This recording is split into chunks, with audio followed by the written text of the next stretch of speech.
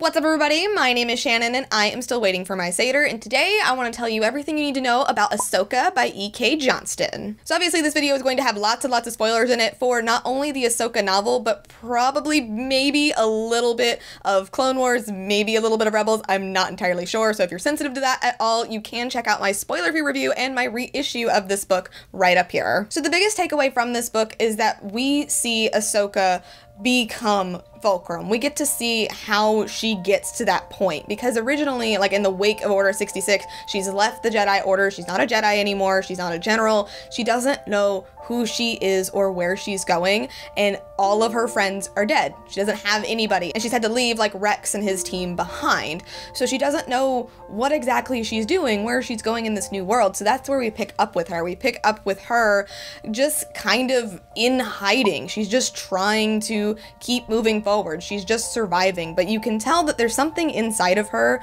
that's making her want more, but she doesn't know what to do. She's on the run from the Empire. She's always leaving. She's always leaving people behind, but she wants so badly to fight. And we do learn in this book that one person cannot fight the Empire alone. That leads her to finding the Resistance. Actually, well, the Resistance sort of finds her, and she sees that this is her chance. This is what she's been looking for. She's been wanting to do something to fight back, and this is the way to do it. She knows people. She understands people. She wants to help them be connected.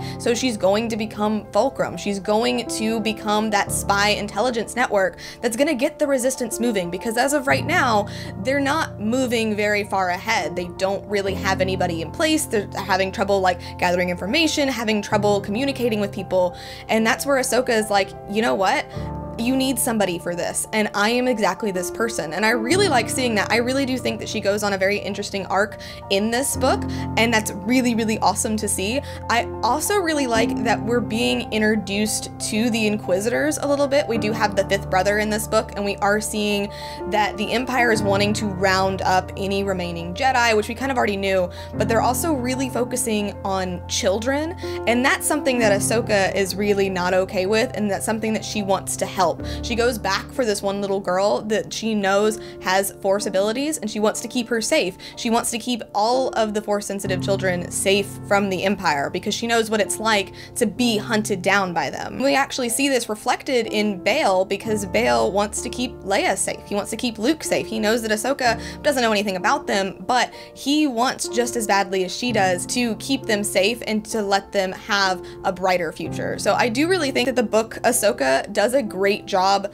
bridging this gap. Again, there are a little pacing issues, there are some weird bits here and there, but I really love that it does show this. I do think that if you haven't watched Rebels, it doesn't make as much sense. I feel like it makes a lot more sense going back through having seen her entire arc in Rebels, or at least her season two arc in Rebels, um, because it just makes a little bit more sense. But regardless, it does a great job bridging the gap, and I do highly recommend it if you haven't read it yet. But you already know everything you need to know about it. But please let me know all of your thoughts down in the comments below, and thank you guys so much for watching this video. If you liked it, be sure to hit that like button down below, and don't forget to subscribe so you can talk books with me every week. That is everything got for today, and I will see you guys next time.